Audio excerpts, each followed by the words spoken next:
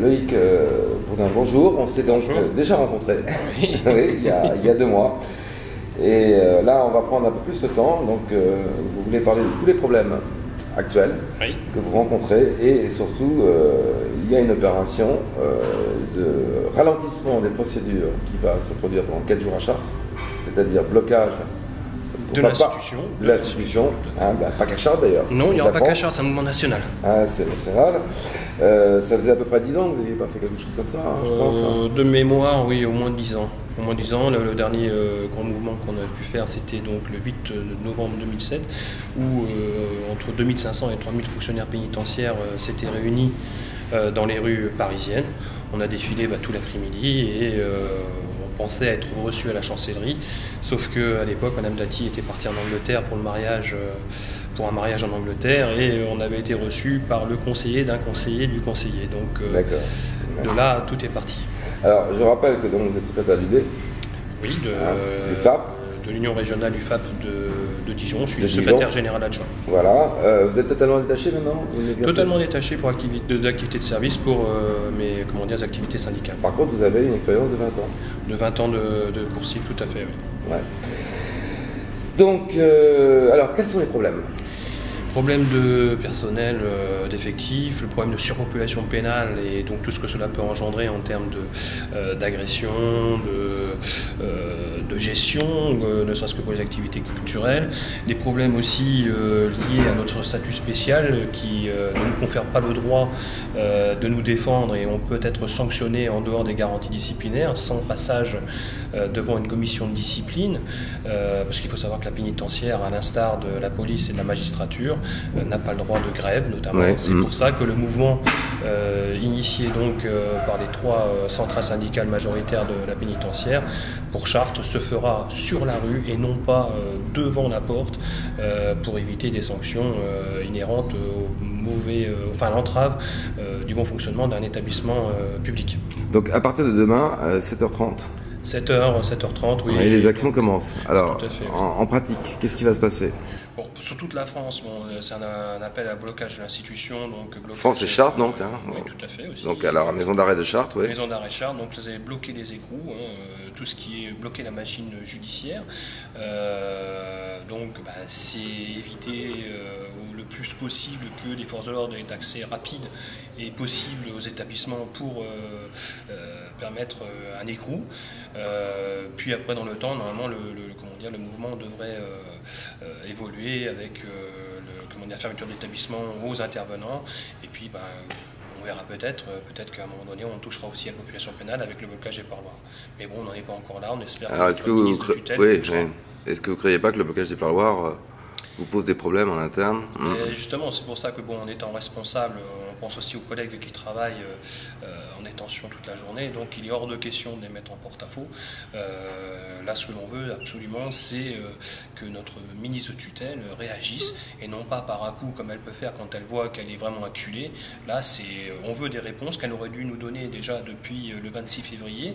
Elle s'était engagée le 26 février à nous répondre sur tous les points que j'ai déjà soulevés tout à l'heure, avec Mhm. notamment euh, la réhausse des effectifs, euh, suppression. On va rentrer dans le détail peut-être sur chaque point. hein. Ouais. Et donc, Hmm.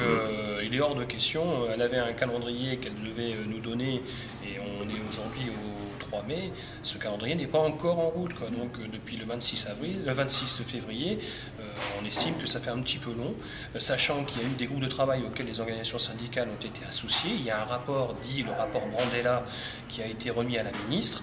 Euh, donc, euh, bon, on estime que nous, on a fait notre part du travail, on a fait notre part du jeu. Euh, donc, à, elle de, de prendre maintenant euh, les choses en main, de piloter maintenant ce- cette réforme et euh, euh, tous ces groupes de travail. Est-ce que vous pensez qu'une action comme ça va vraiment avoir un impact? Ben, prison, Parce qu'en fait, finalement, vous allez juste retarder les procédures. On va retarder les procédures, mais bon, on va surtout faire parler de nous. Euh, tout le monde euh, veut, veut voir de l'incarcération ou cela, mais personne ne veut entendre parler de ces prisons. Euh, on est les mal aimés dans ce pays. hein. On est quand même la troisième force de public euh, territoriale euh, du territoire. Mmh. On nous appelle encore les porte-clés. Euh, du côté des détenus, bah, on est les matons parce qu'on est là pour mater et pour brimer. Et puis voilà. Sauf que bon, euh, nos revendications concernent aussi la population pénale. Euh, indirectement, parce que bon, c'est lié à nos conditions de travail.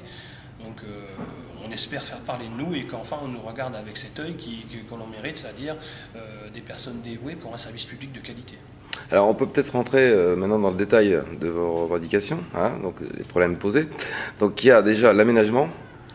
Oui. Ah, alors, le déménagement du territoire termes de parc pénitentiaire. Il faut savoir qu'aujourd'hui, au 1er mai, donc, il y avait à peu près 63 000 détenus d'incarcérés pour euh, environ 52 000 places. Donc depuis euh, l'arrivée de Mme Dati, un plan pluriannuel sur 5 ans a été euh, initié pour qu'à 2012, on arrive à 62 000 places. On n'a qu'à faire la, soustraction, 63 000 aujourd'hui, 62 000 en 72, 163 000 détenus aujourd'hui, 62 000 places en 2012. Il y a toujours un manque de, de 1000, sachant que les prévisions euh, ministérielles sont de 80 000 détenus en 2017. Euh, donc là, on, se pose vraiment d'énormes questions. Donc on ne va pas vers un assouplissement du tout carcéral, c'est clair. non, non, non, d'autant plus qu'il y a des prérogatives dans la pénitentiaire qui euh, disent que tout détenu ou toute personne condamnée à un reliquat de peine euh, inférieur ou égal à 4 mois peut bénéficier d'un aménagement systématique de sa peine, c'est-à-dire qu'il n'est pas incarcéré, mais si toutefois il peut prouver euh, de gages sérieux de réinsertion, bah, sa peine serait aménagée. Or, actuellement, on en est toujours au point zéro, quoi, et ce ne sont certainement pas les placements sous surveillance électronique qui, qui pallient euh, ce grand manque, sachant que... Euh, il devait y avoir hein, pourtant un essor de, surveillance par bracelet, oui. C'était un mm. petit peu ce qu'on reprochait à Mme Dati dans sa politique, qu'on considérait nous comme euh, incohérente dans la mesure où euh, Madame Dati et euh, donc le président préconise les peines planchées et le zéro tolérance en cas de, récidive notamment.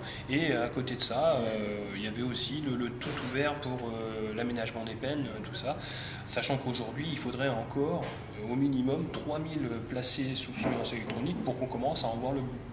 Alors, est-ce que le ministère, justement, a les moyens d'assurer cette surveillance électronique À l'UFAP, on a coutume de Ça coûte cher, non? Tout à fait, mais à l'UFAP, on a coutume de dire donnez-nous et donnez-vous les moyens de l'ambition de votre politique. Si on, dit aux citoyens on va faire ci, on va faire ça, euh, bah, qu'on se donne les moyens, que l'on recrute du personnel, parce que bon, placer aussi des gens sur surveillance électronique ou euh, en aménagement de peine, eh ben, il faut recruter à tous les niveaux, hein, que ce soit euh, administratif, que ce soit éducatif que ce soit euh, au niveau détention.